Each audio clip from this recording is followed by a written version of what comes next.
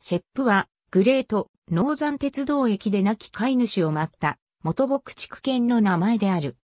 この犬は、1936年のある日、アメリカ合衆国北西部山岳地方のモンタナ州、フォートベントンのグレート、ノーザン鉄道の駅に姿を現し、亡き飼い主の棺が列車に積み込まれ、走り去るのを見守った。この犬は駅に残り、飼い主が次の5年半の間、戻ってくるのを待ち、1942年に入ってくる列車によって死んだ。この犬はかつて、モンタナ州フォートベントン近くの、ある見知らぬ、牧羊場に属していた。1936年8月に飼い主が病気になり、治療のためフォートベントンのセントクレア病院に入院したが、その時飼い主はこの牧畜犬を連れて行った。数日後、彼は死去し、遺体を引き取りに親戚たちが頭部に行かせられた。この犬は棺を追って鉄道駅まで行き、棺が頭部へ向かう列車に積み込まれるのを見守っていた。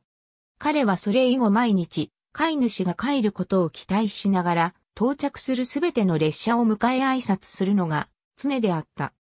駅従業員らが、かつての棺の中の遺体がおそらくはこの犬の飼い主で、あると悟るのに、しばらく時間がかかったが、この犬は、飼い主が降りてくるかどうか見るために入ってくる、電車ごとに姿を現した。その犬は後に、シェップと名付けられ、駅従業員らが彼の面倒を見て、彼は駅とその周辺に住み、通り過ぎるすべての人によく知られるようになった。駅で彼が数年間過ごすと、シェップと彼の話は、 Ripley's Believe It or Not で特集された。シェップは、この毎日の不寝番を6年近くも続けたが、1942年1月12日に列車に引かれた。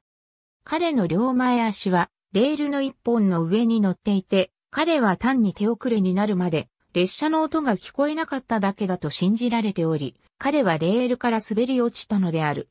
列車の機関手は列車を止めるのが間に合わなかった。数日後、シェップの葬儀には、フォートベントンのほぼ全員が列席した。Eulogy on the Dog が別の犬のために書かれたものであるけれども、葬儀で読まれた。ボーイスカウト隊47が、シェップの棺側曹操者と騎乗兵を務め、寂しい絶壁の上のこの犬の墓まで棺を運ぶのを手伝ったが、そこは街を見渡す丘の上の敷地であった。グレート、ノーザン鉄道は簡素なオベリスクを建て、その隣には、シェップの彩色された木製の切り抜きがあった。真下には白い石が SHEP と一時一時綴ってあった。夜間は複数の明かりがこの展示を照らした。旅客の線はついにはフォートベントンを通り抜けなくなり、すると墓は荒廃した。1988年に墓は修復され、再び磨き直された。シェップの切り抜きは今は彩色鋼であり、照明は交代させられている。墓地は現在、 Kiwanis Key Club と Fort Benton Community Improvement Society によって管理されており、墓地へのアクセスを容易にするため、記念建造物の背後に小さな駐車場と遊歩道が追加されている。シェップの首輪とボールがモンタナ州フォート、ベントンの Museum of the Upper Missouri に展示されていた。シェップの物語は、スチュワート・ H・ ビバリッジとリー・ネルソンによる、シェップ・フォーエバー・フェイスフルに歴史的フィクションとして語られている。シェップの物語を語る歴史的標識モンタナ州フォート、ベントン・ランブリン・ジャック・エリオットが歌うフォークソング、 Old Shep は関係はあるが別の話をしている。